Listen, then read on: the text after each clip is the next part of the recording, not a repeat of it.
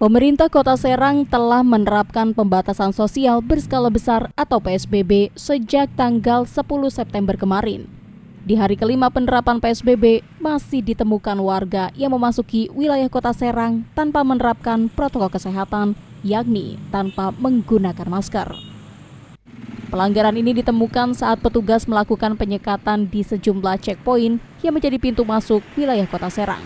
Salah satunya di wilayah Kalodran, yang berbatasan langsung dengan wilayah Ciruas. Petugas yang melakukan pengawasan langsung memberikan sanksi sosial ke warga yang melanggar berupa hukuman push-up sebanyak 15 kali.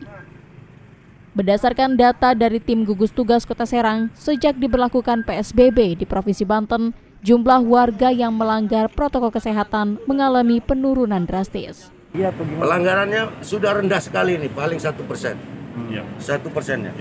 Alhamdulillah uh, dari checkpoint yang di Serang Timur dan di terminal ini kami lihat datanya yang tidak memakai masker hanya satu dua orang kemudian yang suhu badannya tinggi tidak ada dan pelanggaran-pelanggaran yang lain uh, nampaknya sudah uh, masyarakat sudah sadar.